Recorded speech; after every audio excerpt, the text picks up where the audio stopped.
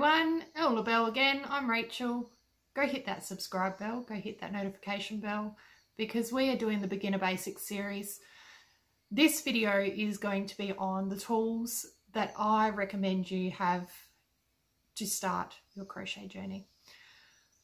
Few simple things to remember is you don't have to have the best of the best to start with. It's all a learning curve. I do recommend that you have a crochet hook in at least a size four and five, potentially even a three, depending on what weight yarn you're working with.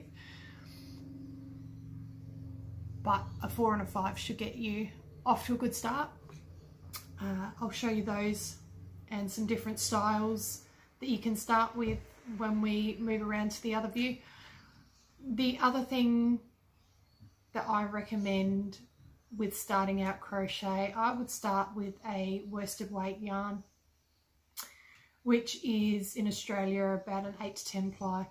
Um, it's a little bit thicker, it's easier to see your stitches, and if you shop at Spots Spotlight, you can get the USA Spot Saver for $8 for a 200 gram ball. Uh, it's got about 312 metres or about 325 yards in it. Um, it's not a bad quality acrylic, but it's a great little one to start out with. It's what I, one of the ones I started out with. I am going to turn my camera around and I will see you on the flip side.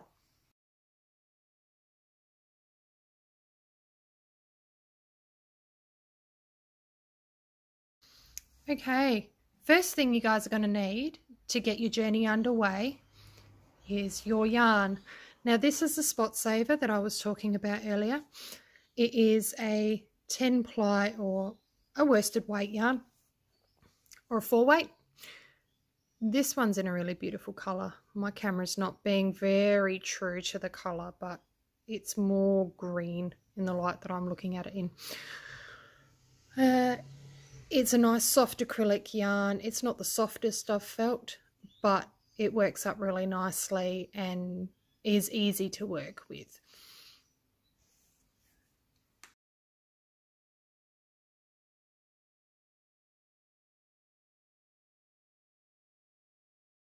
Okay, so onto hooks. Uh, there are a few different styles that you can get, as you can see here. There's four different ones that I've got here um, all varying quality, all good and bad in their own different way. The one I started out with was this one. Um, obviously this is in a six millimeter, but this is just your run-of-the-mill standard aluminium hook or metal hook. Um, great little flat spot here for holding it.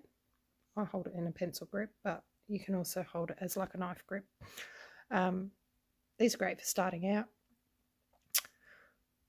Downside to them is that they are a bit slippery because they're all metal um, and also skinny. So if you've got things like arthritis or issues with your hand, they can get a little bit uncomfortable after a while.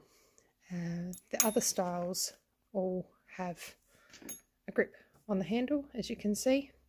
This pink one is one I have borrowed out of my daughter's collection. It's a cheap ergonomic hook.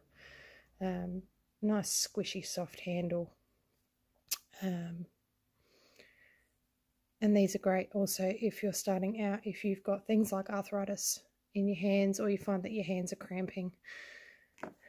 These two here, this one, the brown one, is a clover and the grey and gold one is a tulip. These are two really common brands in people that have been crocheting for a while. I will do a review on those and all, all of these style hooks um, in another video. But finding yourself a hook that you like is an important one, but this one you can start out with quite a good cheap little hook. I got a set of these off my friend when I started crocheting. I think she paid $4 on Wish for a full set of about 20 hooks from a tiny little one that was like 0.5 of a mil up to a six and a half mil. And they come in a little case. Really really important though to have a hook for obvious reasons. You're not going to be able to crochet without a hook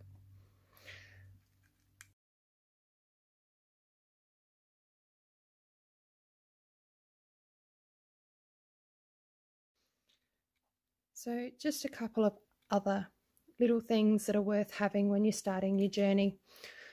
Your first one is pair of scissors. Now these ones I got from work. Um, I'm a registered nurse and these are our basic scissors that we have available to us. Um, I use these simply for cutting a dressing and then thought beauty. They'll work really well for my crochet and my crafts. So I pop them in my pocket. Um, they're really good. Short little blade, um, but nice and sharp for cutting your yarn. They'll make your life 100% easier. You can also use uh, nail clippers if you are going on flights, that sort of thing a decent tape measure and not like a hardware one that you'd find in a hardware store, but a proper fabric tape measure. If you can find one that's got centimetres and inches, that'll make your life really easy as well. Um, I think I picked this one up for a couple of dollars at Spotlight. These are really good for when you're doing your gauge swatching and will help you along the way, making sure that you are creating your garments and blankets and everything that you may endeavour to make along the way to the right size. The very last thing that I suggest that everybody gets their hands on are stitch markers. Especially good for when you're working in the round which I'll go into in my next series, which is the Intermediate Skills series.